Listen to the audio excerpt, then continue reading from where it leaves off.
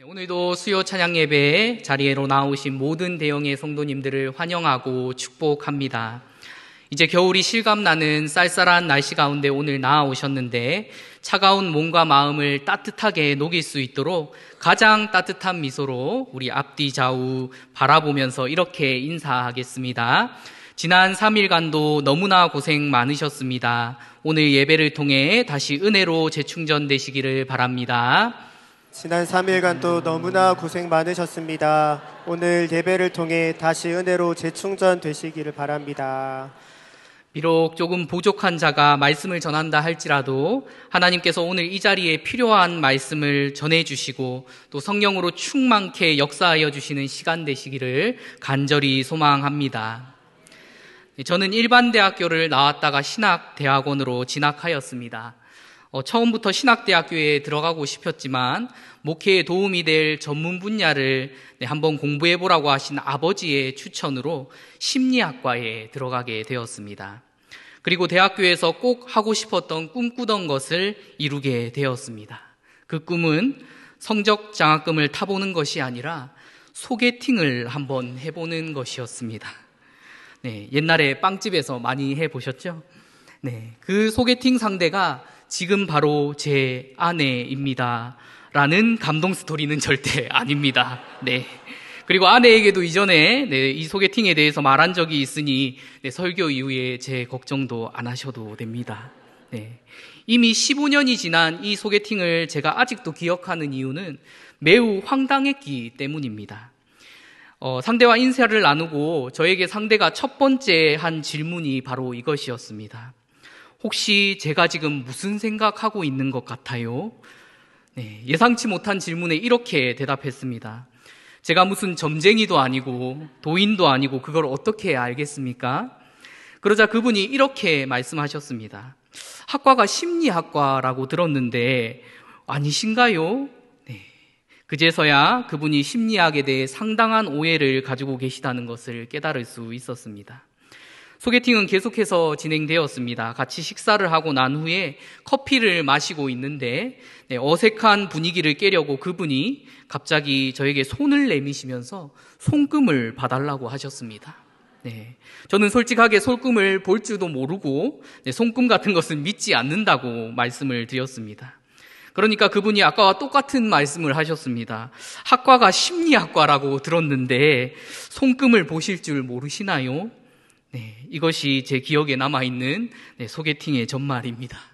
네, 심리학은 절대 비과학적인 점수학이나 네, 상대의 마음을 읽는 독심술이나 네, 손금을 가르치는 그런 학문이 아닙니다. 네, 이런 제 경험과 더불어서 심리학에 대해 크게 오해를 하고 있는 부분이 또 있습니다. 바로 이 책 때문인데요. 아마 대부분의 네, 사람들이 내용은 모르셔도 한 번쯤은 들어보셨었을 제목이라고 생각이 됩니다. 네, 바로 설득의 심리학이라는 책입니다. 이 책에는 실제로 설득에 도움이 되는 대표적인 심리 기법들이 많이 소개되고 있고 이를 통해 누군가를 당장이라도 네, 설득시킬 수 있을 것 같은 용기를 주는 책이라고 할 수가 있습니다.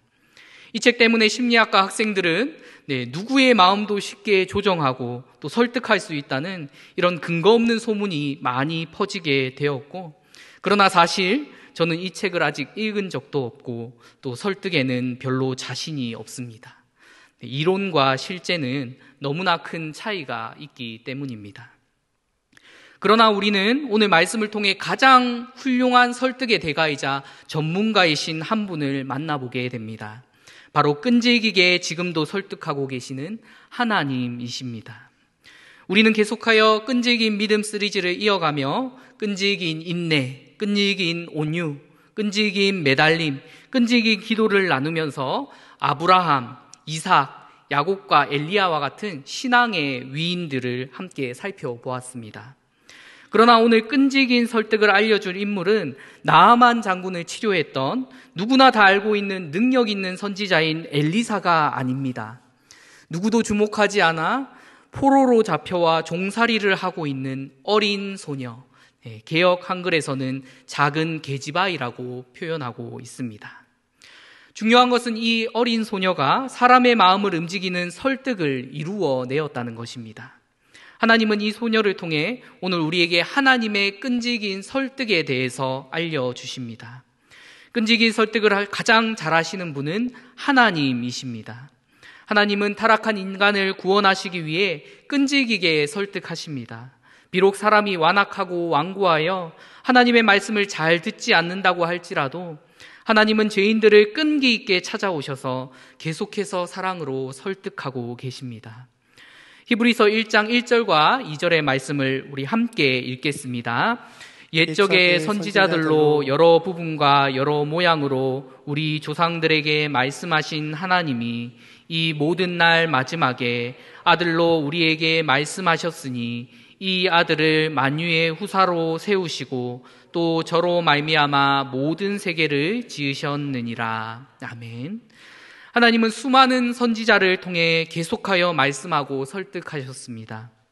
그래도 듣지 않으니 결국 독생하신 아들을 보내시기까지 우리에게 말씀하십니다. 그리고 지금도 성령님을 통해 우리를 설득하고 계십니다. 하나님의 끈질긴 설득과 인간적인 설득에는 매우 큰 차이점이 있습니다. 인간적인 설득은 어떻게 해서든 내게 유리하고 이득이 되는 결과를 얻기 위한 설득입니다.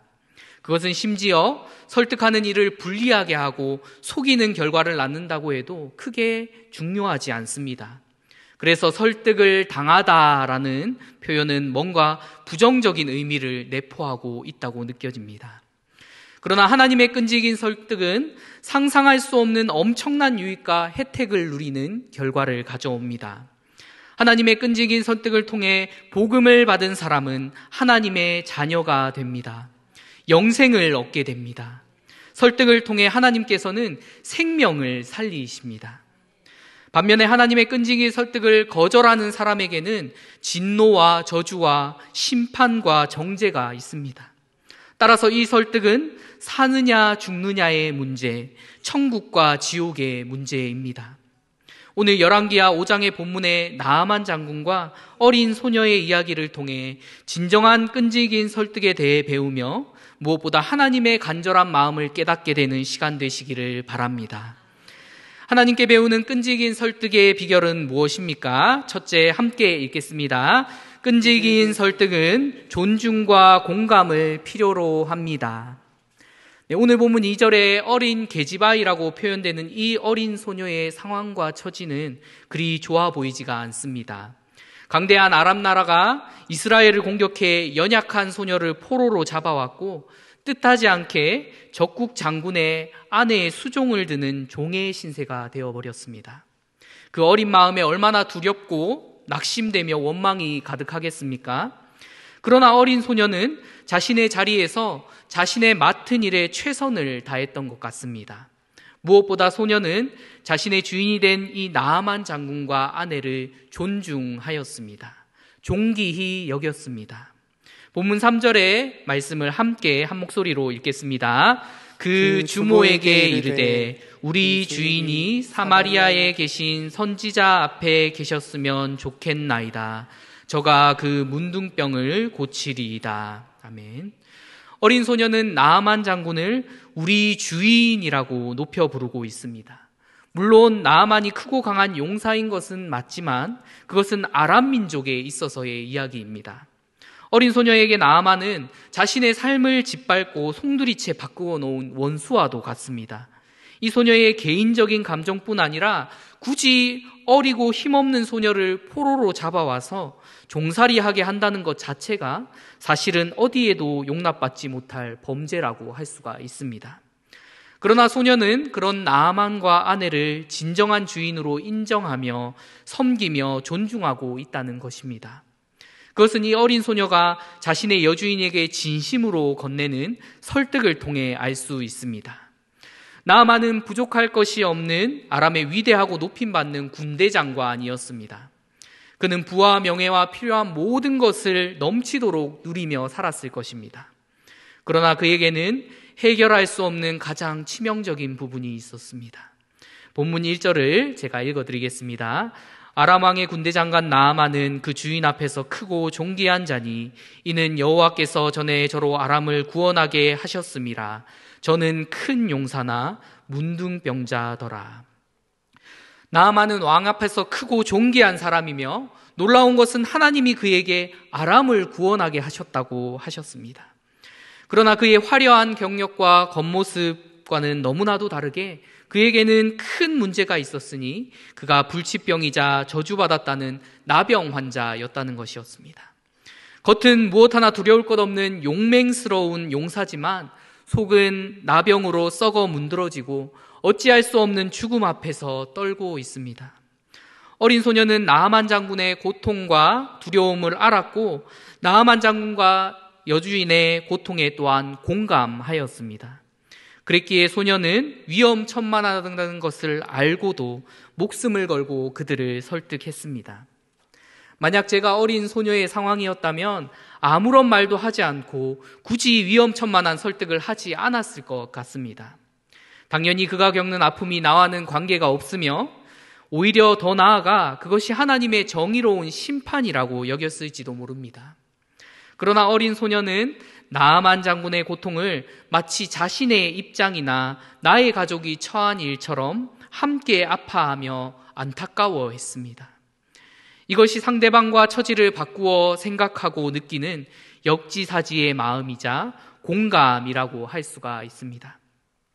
사람은 누구나 인정받고 존중받기를 원합니다.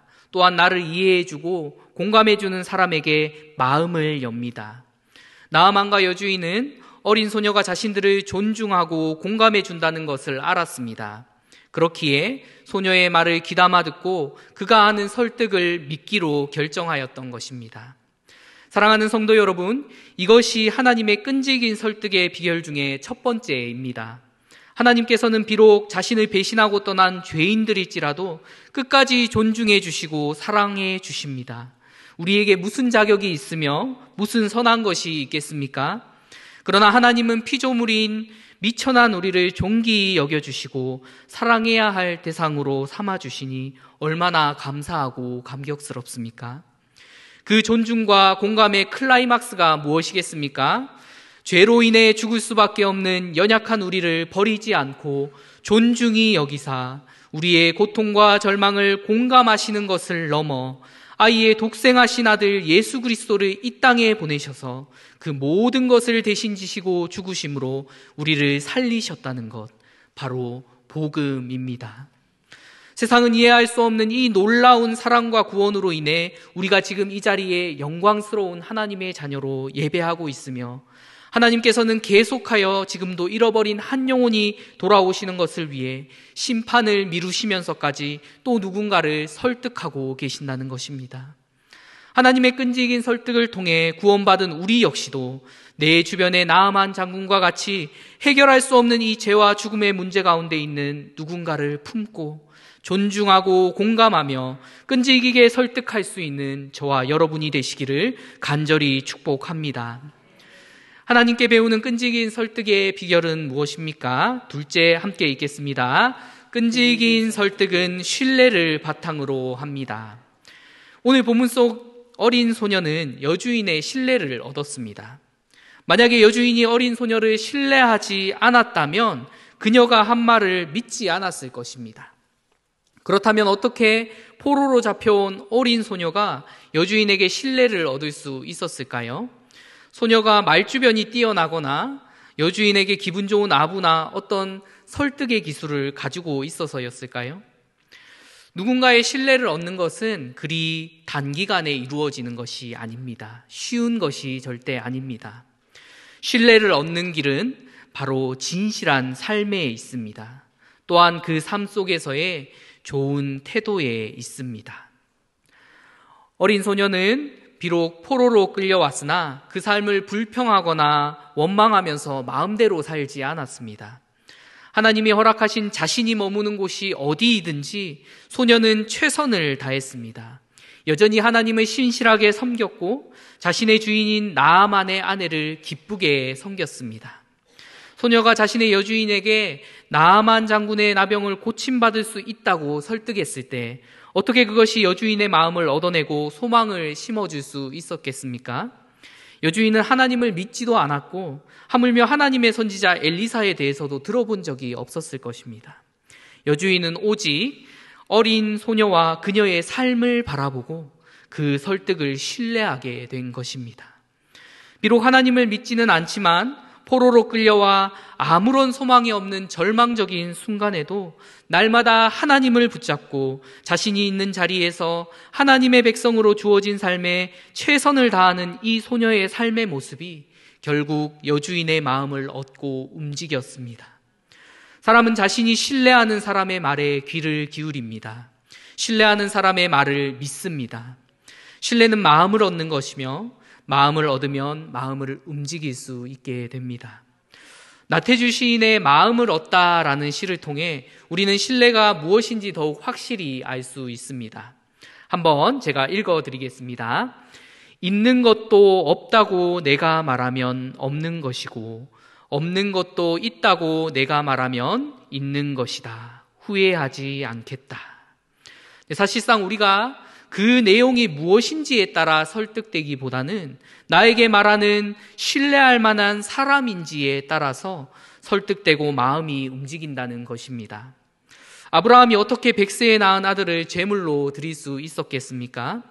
요셉이 어떻게 그 모진 세월을 이겨내고 그것이 하나님의 계획과 뜻이라고 고백할 수 있었겠습니까? 기도원이 어떻게 명령대로 300명만으로 맞설 수 있었겠습니까? 예수님께서 어떻게 십자가를 앞두시고 땀이 피가 되도록 마음이 힘드신 중에도 순종하실 수 있었겠습니까? 말씀하시는 분이 명령하시는 분이 바로 선하신 뜻과 계획 가운데 이루시고 완성하시는 하나님이셨기 때문에 비록 사람의 방법으로는 이해가 되지 않을지라도 신뢰를 가지고 믿음으로 순종할 수 있었던 것입니다. 우리가 성경 속 수많은 사건과 이야기를 보면서 계속하여 더욱 알게 되는 것은 무엇입니까? 우리가 믿는 하나님께서 얼마나 선하시고 진리가 되시고 약속한 것을 반드시 이루시는 신실하신 분이신지 우리는 더욱 깨닫고 신뢰하게 된다는 것입니다. 어린 소녀가 만들어낸 신뢰가 소망을 낳고 그 신뢰가 신뢰를 낳아 전해지면서 결국 나아만 장군이 엘리사 선지자를 만나도록 하나님이 역사하시고 일하셨습니다. 사랑하는 성도 여러분, 이것이 하나님의 끈질긴 설득의 비결 두 번째입니다. 하나님은 하나님의 사람을 통해 그분의 진리가 세상 가운데 전파되도록 일하십니다. 하나님의 사람들을 통해 세상을 바꾸어 가기를 원하십니다. 우리의 삶 역시도 어린 소녀와 같이 이 땅의 유일한 소망과 진리가 되시는 예수 그리스도를 믿지 않는 사람들에게 삶으로 보여주며 신뢰를 얻어야 합니다. 우리 담임 목사님께서 자주 말씀하시고 제가 우리 교회에 처음 면접하러 와서 보았던 네, 기억나는 문구가 있습니다. 우리는 성경을 통해 예수님을 알지만 세상 사람들은 우리를 통해 예수님을 봅니다. 이 문구를 늘 기억할 때마다 제 자신을 돌아보고 점검하게 되는 것 같습니다. 혹시나 나를 통해 예수님을 잘못 보는 사람이 있다면 하나님께서 얼마나 마음 아파하시겠습니까? 신뢰를 단기간에 이룰 수 있는 지름길은 없습니다. 신뢰를 얻는 길은 오직 진실한 삶에 있습니다. 하나님과 관계하며 보이는 우리의 신앙의 좋은 태도가 바라보는 또 누군가를 진리 가운데 이끌어내는 하나님의 끈질긴 설득이 되기를 소망합니다. 우리의 삶이 신뢰를 만들어내어 신뢰가 신뢰를 낳아 이를 통해 일하시고 역사하시는 하나님의 끈질긴 설득이 이루어지는데 쓰임 받는 저와 여러분의 삶이 되기를 예수님의 이름으로 축복합니다. 하나님께 배우는 끈질긴 설득의 비결은 무엇입니까? 네, 셋째 함께 읽겠습니다. 끈질긴 설득은 확신과 인내를 가져야 합니다. 이제 나아만은 자신이 해결할 수 없는 나병을 고칠 수 있다는 소망을 품고 수많은 값비싼 보물을 싣고 이스라엘로 넘어갑니다. 그러나 그 과정은 또한 순탄치가 않았습니다. 아람 왕의 편지를 받은 이스라엘 왕은 소망을 품고 온 나아만의 앞에서 자신의 옷을 찢고 나병을 고칠 수 없다면서 오히려 아람 왕이 이 일을 통해 시비를 걸고 전쟁을 일으키려 한다라고 소리칩니다. 그리고 이 소식을 들은 엘리사가 나아만 장군을 자신의 집으로 찾아오게 합니다. 그러나 엘리사는 그저 그의 사환을 통해 이렇게 전해 줍니다. 네, 열왕기하 5장 10절의 말씀을 함께 읽겠습니다. 엘리사가 사자를 저에게 보내어 가로되 너는 가서 요단강에 몸을 일곱 번 씻으라 내 살이 여전하여 깨끗하리라. 아멘. 그러자 엘리사의 말을 듣고 나아만 장군이 화를 내면서 그의 생각을 이야기합니다. 이어지는 11절의 말씀을 제가 읽어드리겠습니다. 나아만이 노하여 물러가며 가로되 내 생각에는 저가 내게로 나와 서서 그 하나님 여호와의 이름을 부르고 당처 위에 손을 흔들어 문둥병을 고칠까 하였도다. 나아만의 생각은 엘리사와 달랐고 또한 하나님의 생각과 달랐습니다. 나아만은 엘리사가 하나님의 사람인 것을 인정했지만 믿지 못하고 화를 내며 그냥 돌아가려고 합니다. 제가 대학교에 입학했을 때 저보다 두 살이 많지만 함께 네, 입학 동기로 네, 같이 입학했던 형님이 한 분 계셨습니다.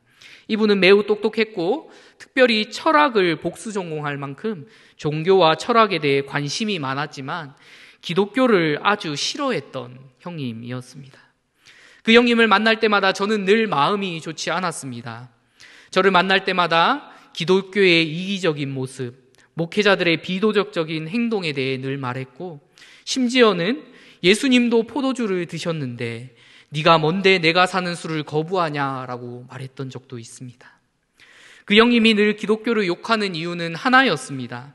인간이 얼마나 죄가 많고 추악하고 더러운데 세상 모든 종교가 이를 인정하고 고행을 통해 종교의식을 통해 선한 행동과 재물을 바치면서까지 노력하는데 기독교는 그저 예수를 믿고 마음에 영접하기만 하면 다 용서함을 받고 해결되냐라는 것이었습니다.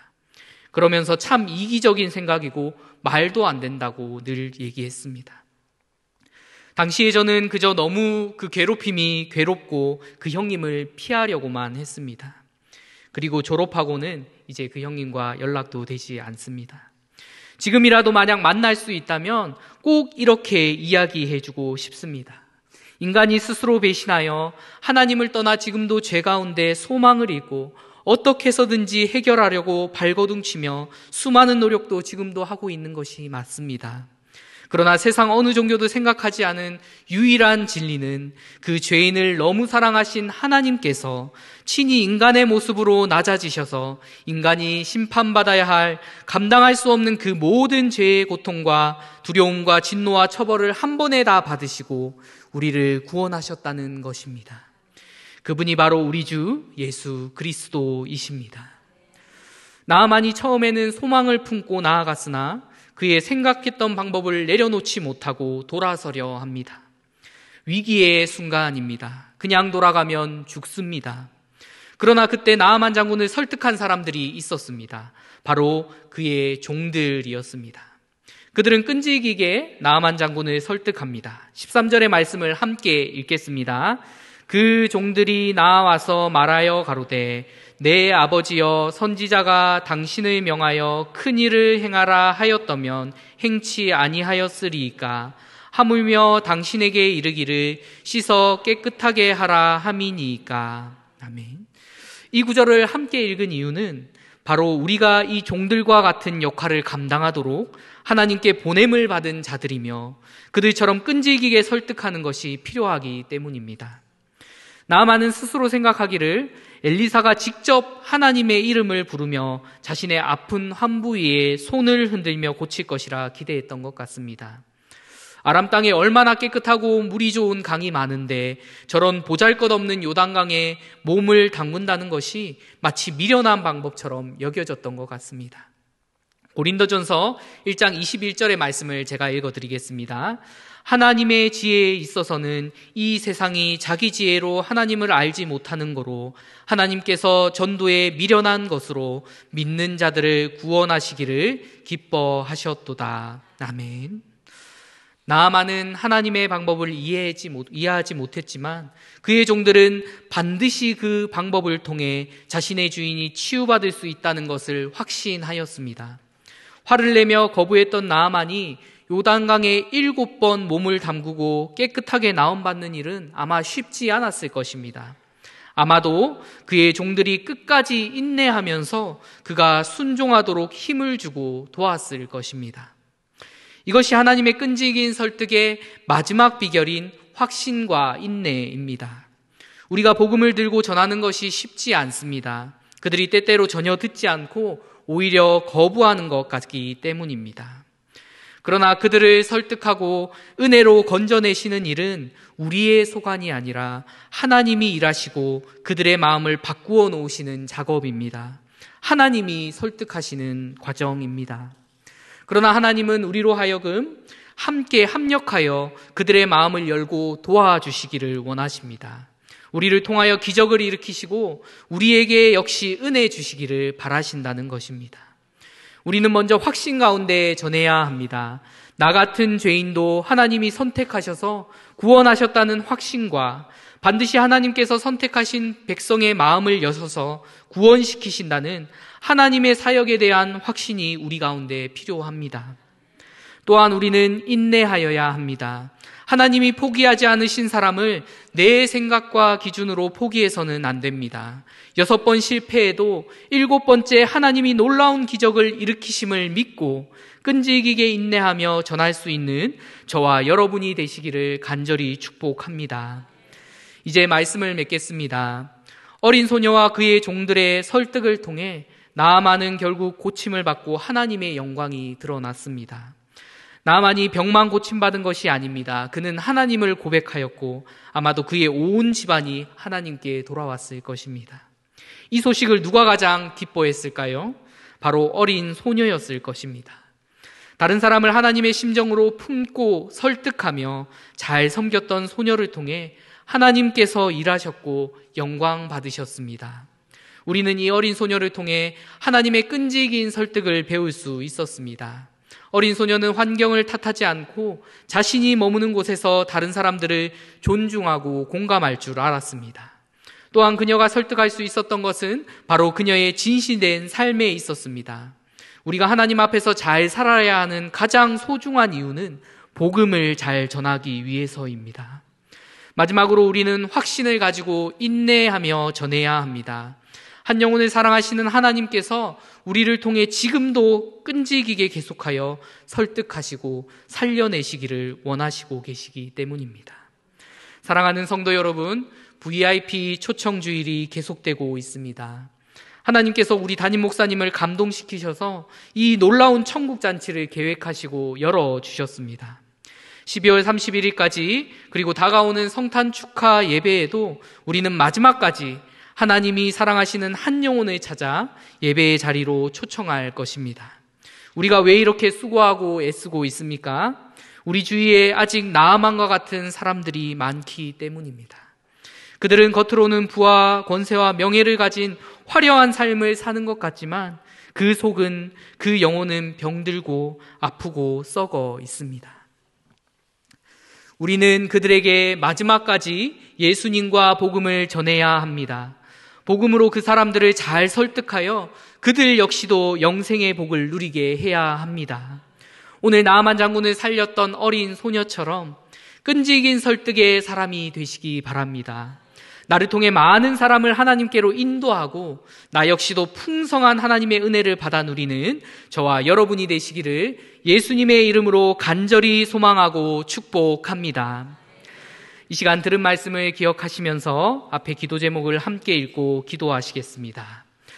하나님 계속되는 부피 초청주의를 통해 믿지 않는 많은 영혼들이 초대되어 주일마다 하나님의 말씀을 듣게 하시니 감사합니다.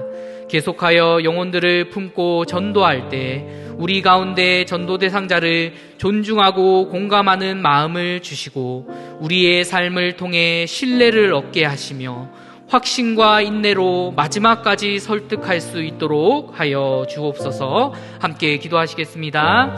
사랑의 하나님 아버지.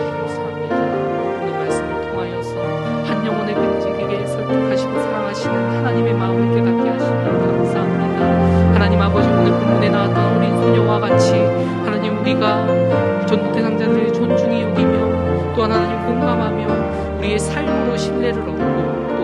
인내와 확신으로 그들을 초청하게 하여 주시옵소서. 하나님 기뻐하시 기뻐하시는 축복잔치가 매일 주일마다 이루어지게 하여 주셔서 하나님 기뻐하시는 그러한 많은 영혼